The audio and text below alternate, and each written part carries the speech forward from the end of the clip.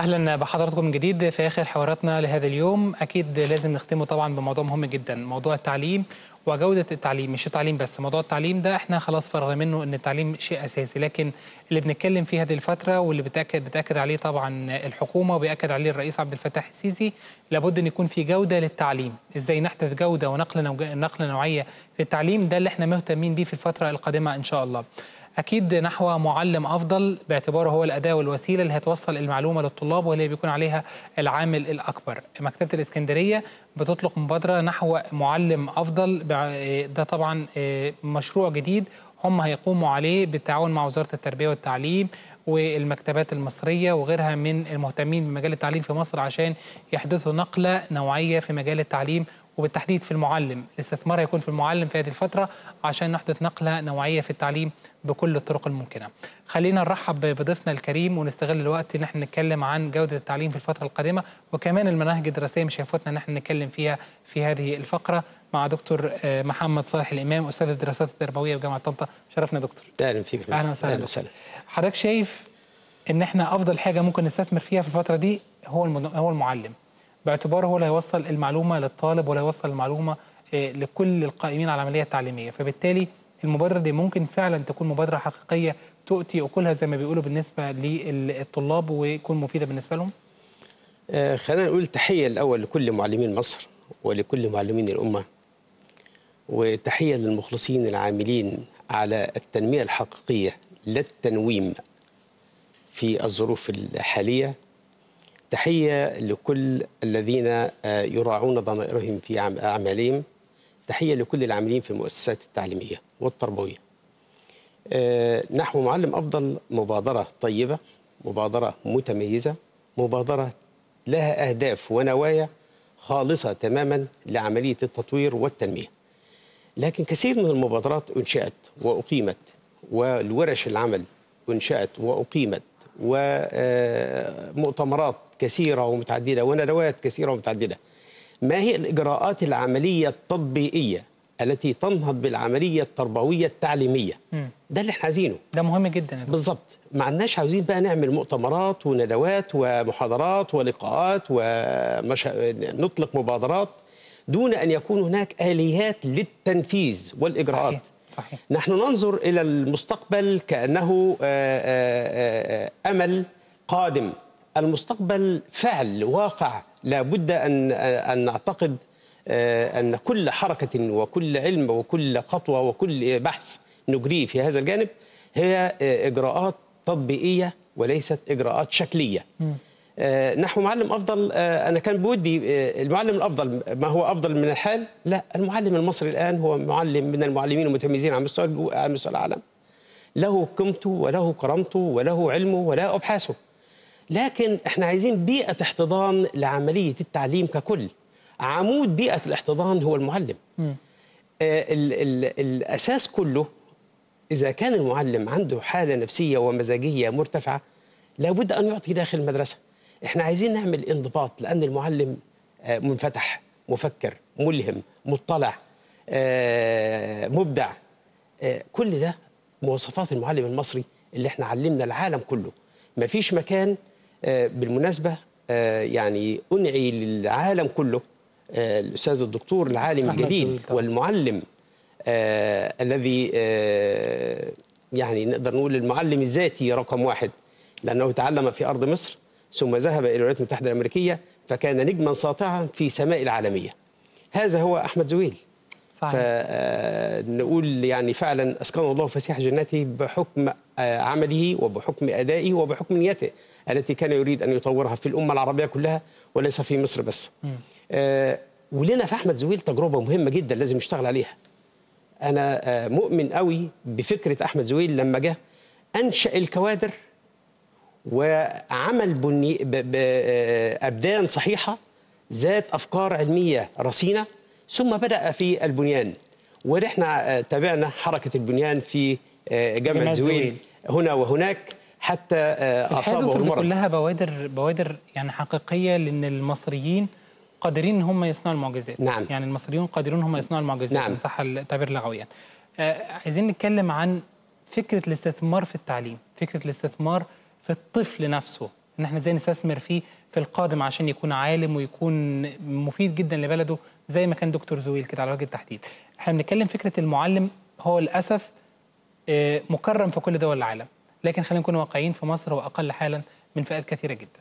في المرتب في الدخل في في المعاناة في في معاناته في العمل في وسائل حتى التواصل التعليمي التربوي الخاصة بيه. كل دي مشكلات لازم نكون حقيقيين مع أنفسنا عشان نقدر نواجه يا دكتور. إزاي إحنا ممكن نوصل المعلم إن هو يكون مستريح في كل ده عشان يقدر يزرع في في الطفل؟ اشكرك جدا جدا يعني لتطرقك لهذه المسألة اللي هي المعنويات الوجدان. فعلا زي ما قلت في البداية بيئة الاحتضان النهارده بيئة الاحتضان إحنا عايزين فعلا المعلم عنده جاهز لكن بيئة الاحتضان آه، مش تمام. آه، عندنا المباني جاهزة وهيئة الأبنية عاملة لنا مباني كثيرة جدا لكن خاوية من المعلمين ومن الطلاب. تمام. ليه؟ لأن ما عملناش عوامل النجاح. عوامل النجاح لما نيجي نبص عليها آه المحور قلنا محور التقدم الرئيسي هو الإنسان. الإنسان بيتمثل فيه العاملين في التربية والتعليم والطالب المستقبل ثم ولي الأمر.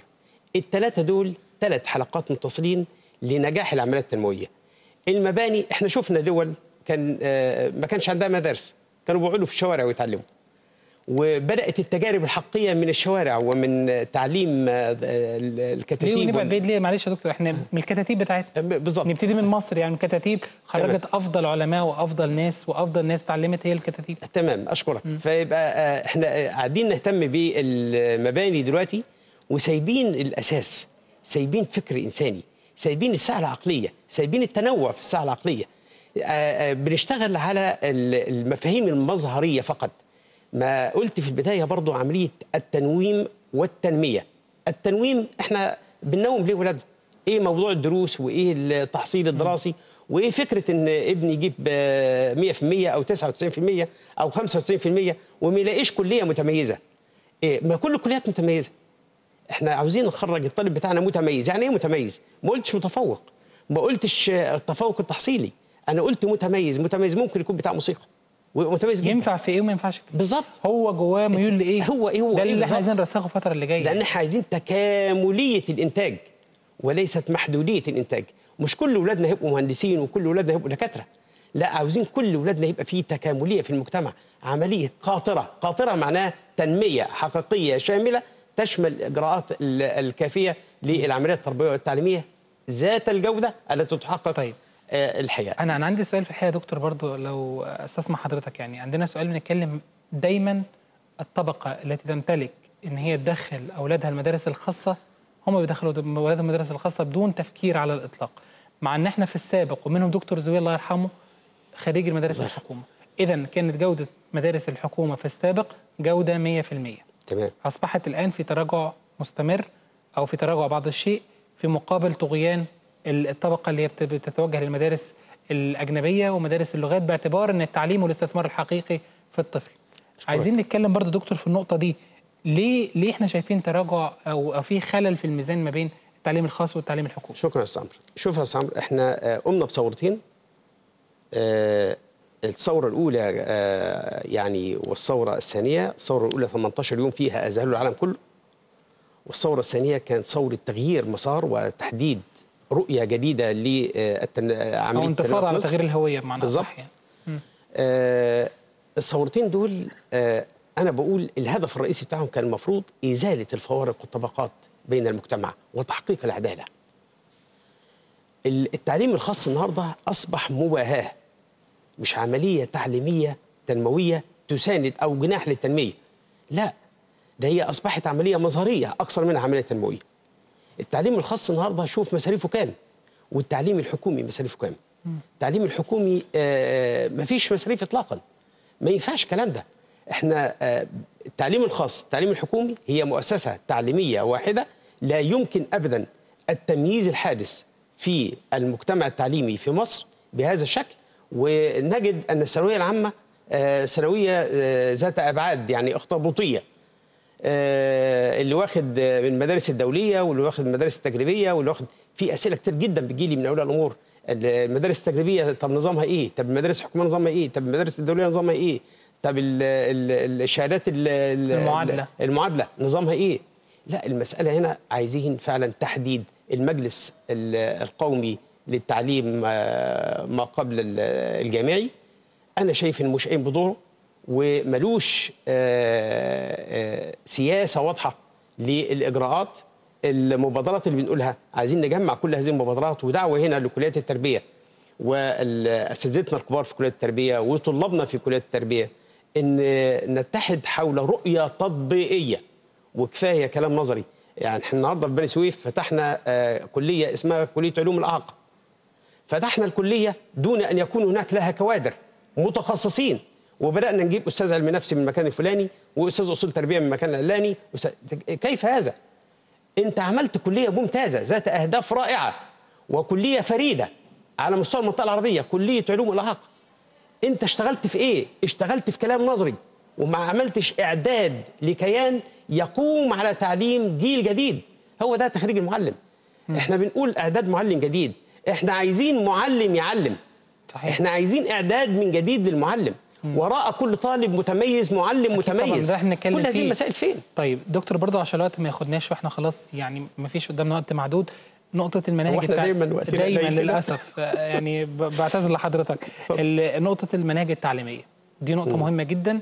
الكل مهتم بالنقطة ده لوجه التحديد. يعني كان وزير التربية والتعليم دكتور هلال الشربيني مهتم بالنقطة دي. الرئيس نفسه مهتم بنقطة المناهج التعليمية. المحتوى التعليمي اللي كان زي ما بنقول كده بالكيلو جوه الكتاب حمل وثقل على الطالب آه، بيحاول ينساب كل الأشكال الممكنة بعد ما يخلص أو بيفرغ من ال- ال- المذاكرة مباشرة أو الامتحان مباشرة مش عايز يفتكر أي حاجة من الكتاب.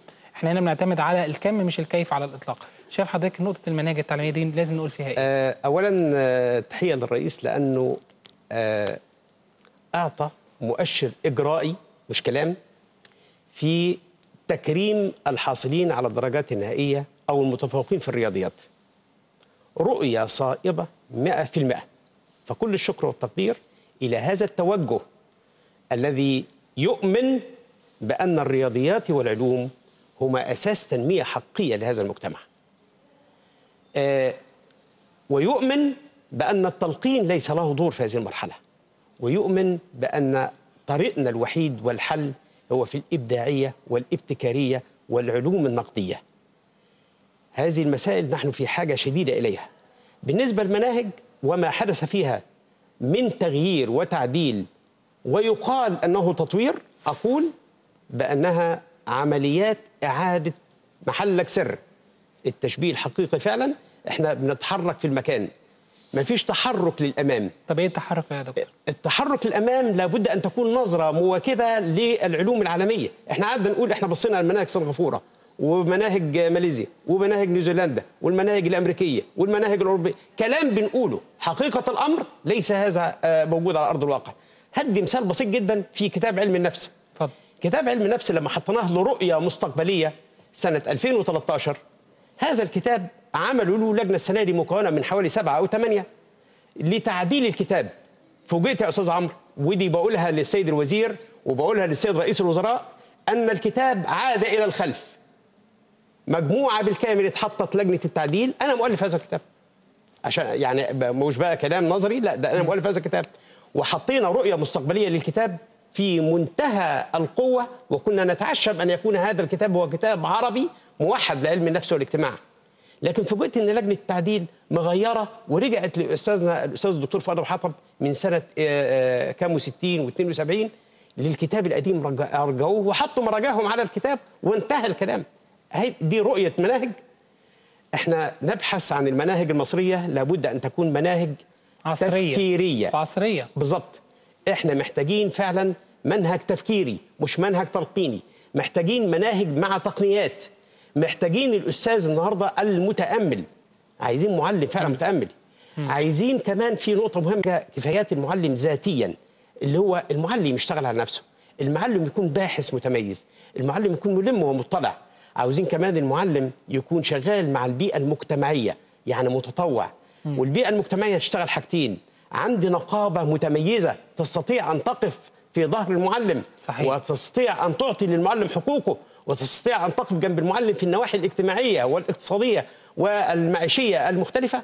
لكن نقابة عندنا نقابة معدومة نقابة جاء جاءت مجموعة تسير الأعمال اهدرت أموال النقابة.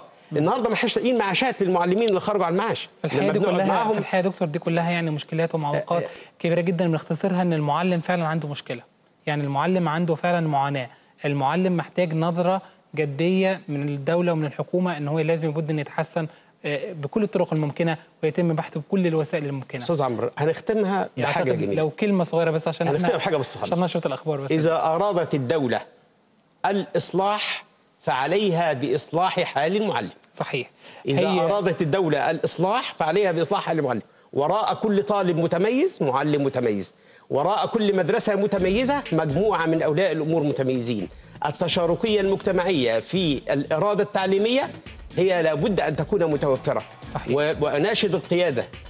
إن آه، زي ما إحنا عاملين التطور الهائل في الطرق والكباري والبنيان لا نهتم بالأبدان ونهتم بأن تكون الإدارة النفسية هي الإدارة الفاعلة في هذه المرحلة. أشكرك يا دكتور طبعا على كلام حضرتك لازم نختم بيه ولازم يكون محل اهتمام فعلا من كلام حضرتك. بشكرك شكرا جزيلا.